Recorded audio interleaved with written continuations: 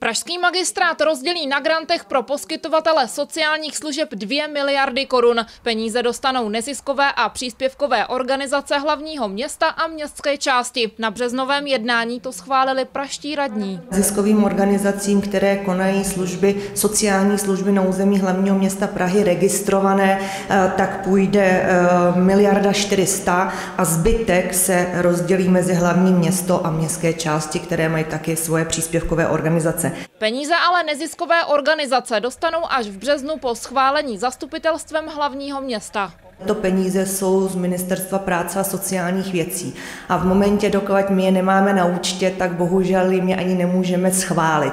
A tyto finance přišly před cca týdnem, deseti dnama, takže jsme okamžitě zahájili tisk a tyto finance budou rozděleny. Už v lednu proto praští zastupitelé schválili granty, které šly z rozpočtu města a které finanční mezeru mají vyplnit. To granty byly ve výši 2,6 miliard, protože dohromady v tom tomto roce jde na sociální služby na území hlavního města Prahy 4,6 miliard. Tady vidíte jasný nepoměr, kdy e, stát nám přispívá dvěma miliardami a zbytek musíme platit z rozpočtu hlavního města Prahy. Dotace letos získají organizace jako například Armáda spásy, Modrý klíč, Naděje nebo Život 90. Peníze půjdou třeba do odborného sociálního poradenství, osobní asistence, denního stacionáře nebo na pečovatelskou službu. Kristýna Svobodová, Televize Praha.